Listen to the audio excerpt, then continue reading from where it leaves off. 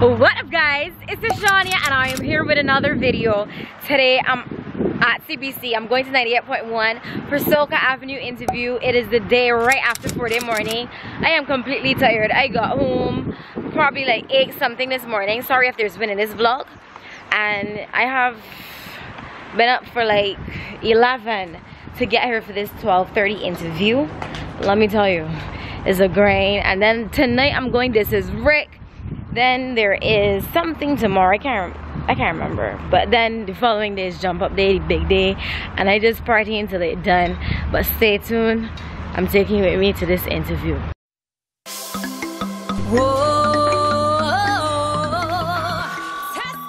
No problem. Good good good. How are you doing I, tired, I am so tired. That's the honest truth. How was Foreday morning? Because I didn't Foreday morning was completely good. I still have pain and everything on me. But um, I had a blast. I jumped with colors. Mm. How did you manage to make it here? Well, I basically got two hours of sleep and I just set my alarm and I mm. said, you know, I have to come here. So. Okay, okay. Tell me about your uh, 2019 season thus far well my 2019 season has been completely different than it was last year whereas last year I was in competition. This year I was not in competition but however I actually would have got to sing at places. Last year I didn't sing anywhere besides on the Party Monarch stage. So this year I would have sang at Beer Fest I would have sang at Soca Fridays I mm-hmm. sang at Soca on the Hill. Yeah. Nice so this year, uh, yeah, I saw you. I saw you perform at Soca on the Hill. How was that performance for you? It was fun. I actually had a blast. Mm. The crowd, I literally got a bet. That's probably like my best crowd response I ever got since I was singing Soca. Wow. So that was exciting for me. Oh, nice. Tell me about your song Rise. Well, my song is Raise. Raise, sorry, not Rise. And it is about what happened to me last year at Party Monarch, mm -hmm. where my microphone was low, so the audience couldn't hear me for like a good I don't even know, but it was a good at the very beginning of my song. Tell me a bit about that experience before you move on though. Like how was it on stage? How did it feel? On stage, mm -hmm. I felt completely comfortable. I did not know that you couldn't hear me because the house, the speakers to me, mm -hmm. I could uh-huh. hear, but the house speakers as well oh, was off. Okay. So it's only when I got off stage then people were like, Ashawnya, you know that you couldn't hear you. So then when I watched over the performance, because I do record everything, because I am a YouTuber, mm -hmm. and basically I was just like, oh well, you know, it's already done. There's nothing that I could do, mm-hmm. but you know it didn't discourage me or anything because you know things happen. True. And there's always technical difficulties that can occur. That's really good that's really good. How long have you been involved in music? In music yeah. i would say from the age of 7 mm -hmm. but at the age of 11 is when i stood in front of a congregation for the first time that was in church and i sang alabaster box and i received a standing ovation so i started in the church. And then i moved on to the Alexandra School because at 11 then it would have said 11 plus. Mm -hmm. and I joined the Beacons there.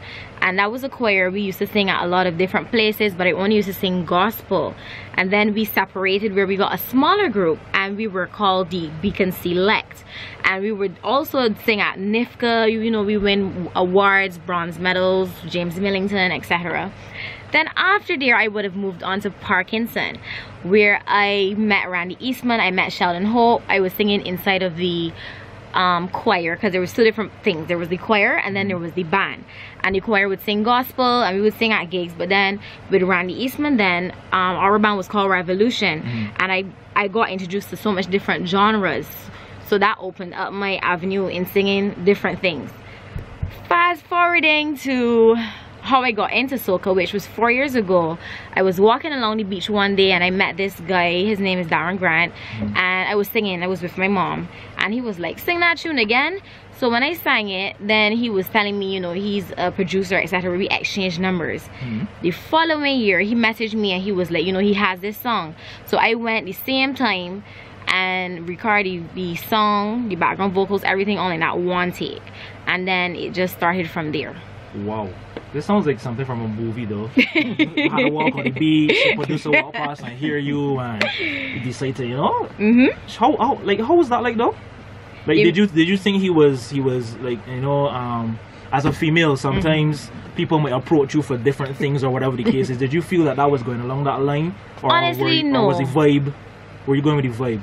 I was just like, at first I was like, who is this guy that's asking me to sing over? But I was exactly. with my mommy. Uh -huh. So I was just like, you know, give giving the number the benefit of the doubt. Mm -hmm. um you know you could always block True, but true, true. yes it it wasn't anything yeah Okay, okay. So did you enter the song in the competition as well? Yeah. you mean the first year Yeah. no You didn't? Why no not? because honestly i knew nothing really about soca I was no getting into it well not not about soca but in in terms of the industry i was unaware because this was new to me i didn't know about COSCAP i didn't know nothing so then i had to actually funny enough it's only in my third year where i actually found out more about it and um the COSCAP and whatnot because in my second year too i still you know i was still still trying to feel out you know the industry Mhm. yeah Okay. So what's been the most challenging thing for you so far? I would say probably like getting out there because you gotta find that song that's gonna be a hit to actually get you known. Um, even getting gigs that are paid Mhm. also, yeah. Okay. But that would come with the song that is a hit. So don't you think? So do you have a manager right now? No, I don't. Are you looking to get a manager? No. So you you want to work on it, work on your promotion uh, um, by yourself as a solo. Not necessarily. I mean, like if it was supposed to happen because I did have one last year mm. and that did not work out. So I just, you know, it kind of turned my mind a bit. But I mean, I still would if I was supposed to find a good manager. Okay. So tell me a bit about your your YouTube now. No problem. You're a YouTuber, so so I started YouTube two years and two months ago. Mm-hmm. Um, it is something that I have always wanted to do. When I was younger, I used to record videos and put on YouTube. But then I got so much heat when I went to school, and I delete all of them. I could not handle that pressure. But now I got older and more mature. I'm just like, you know what? I don't even care. Like I'm gonna put it out there because it's something that I love, Yeah. and I I vlog my life wherever I go because I travel too and I let the world see and I also bring people here when I say I bring people here I mean there are people there are tourists who come and they always want to know you know places to go in Barbados what to do where to eat clubs you know they all they even message me in my DMs you know you know I'm here in Barbados what can I do or whatever and I can always relate them back to my channel or I can even give them personal Nice. advice yeah nice. That's fantastic. So what more can we expect from you when it comes to soca music, like in 2020? Right. Before I get there, the channel is Adventures with Ashawnya on YouTube.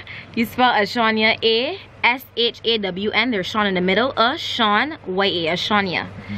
Um, 2020. I'm looking to work with other people because so far I have been um, only working with Darren Grant and Ian Reeves at Underground Music last year I did work with somebody else which is music music core where I sang Andale that was a sweet soca.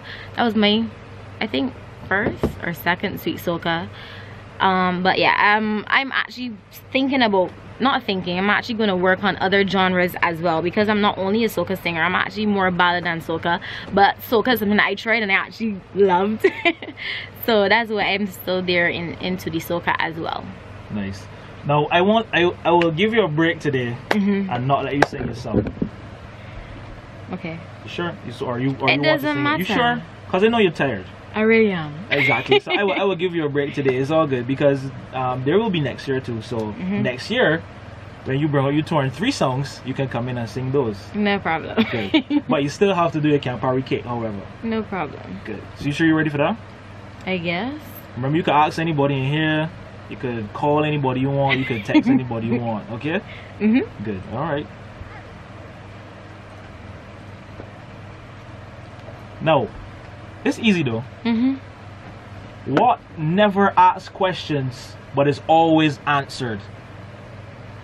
What never asks questions but is always answered? Mm-hmm. How is this easy? It's easy. It's easy. It's easy. You got answers all in the room.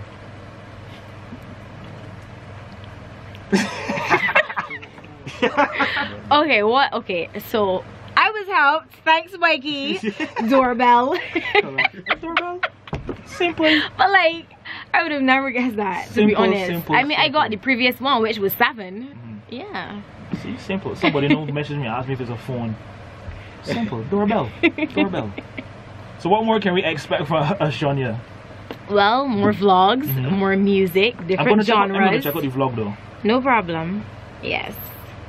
More vibes Mm-hmm. because I like I like pasty soca. Um, I promised to try the sweet soca. I mean, I did try it before, Mhm. but I think I'm, I want to try a sweet soca as well. But I like I like fast. You like pace. fast. Why you Yeah. like pace? Because that's me. I'm an energetic person. I mean, I might not look so now because let me tell you, I'm so tired. But I, I got real energy. I always happy, bubbly, spirity. That's my personality. So It's true because at Marsville, you your energy look entirely different to how I'm seeing you. I, can, I can understand that. and then I go in. This is right tonight. Like I don't know what I'm doing to myself, you, but need, yeah. you need to go home and rest. You really need to go home and rest for real, for real, for real. Thank you so much for passing through the avenue. Thank you for having And me. uh, have a good time at This Is Rick tonight. And, I uh, will. enjoy the rest of the season too. Thank you. no problem. There, have it. Alright, y'all. So that was the interview. I'm actually heading back home to get like a couple more Z's. Because I, I, I probably gotta get her and go out again because I have to go and collect costumes and what have you for Oh, Kadooment Kadooment? Day. It's, it's ridiculous, guys. But stay tuned, yes. What? 我